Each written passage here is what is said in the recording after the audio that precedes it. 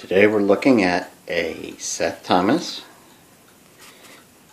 uh, tambour style, which is the camelback or humpback or whatever people might say. That is a tambour style uh, mantel clock. This is from the 1940s.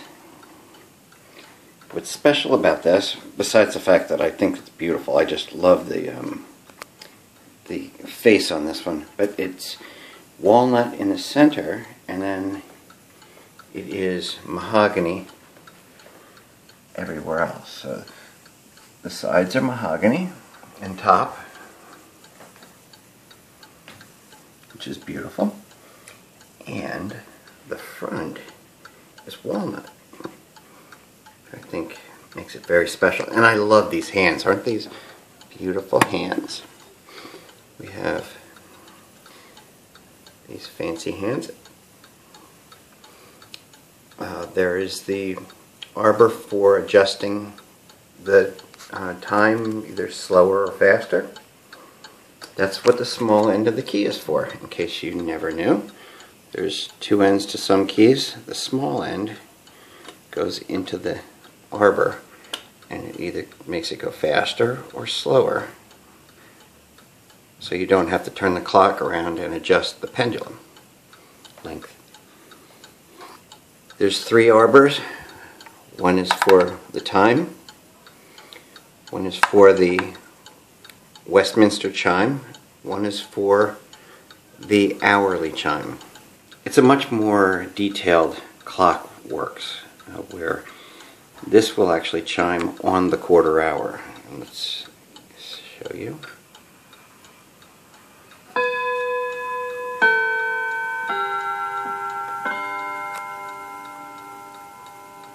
That's the four notes. Each, each quarter hour will be increased by four other notes, so this should be eight notes.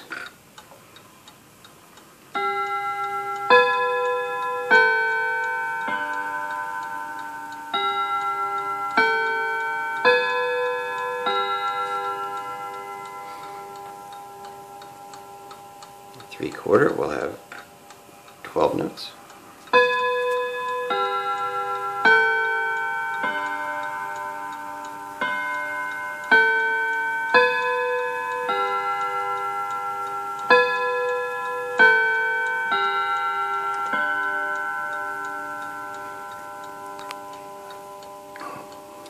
Then 16 notes on the hour and followed by the count of the hour on a different chime.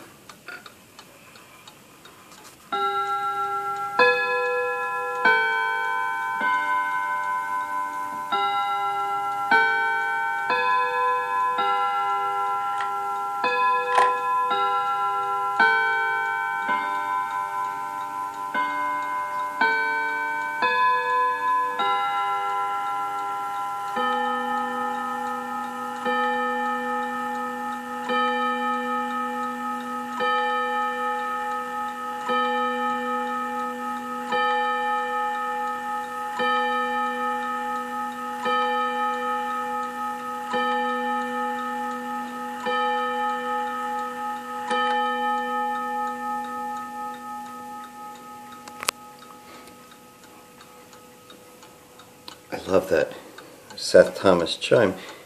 It sounds like Big Ben, doesn't it? Okay. There it is with the glass cover.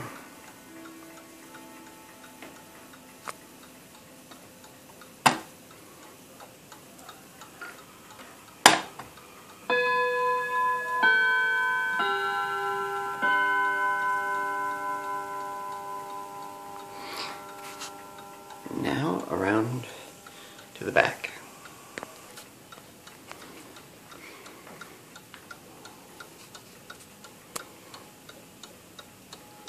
It's a very uh, well made clock and it's still in good condition.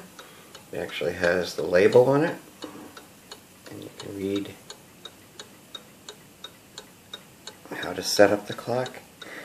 You can see the date they like to trick people in horology world. So this date is 4802, which would be most likely 02 or February of 1948.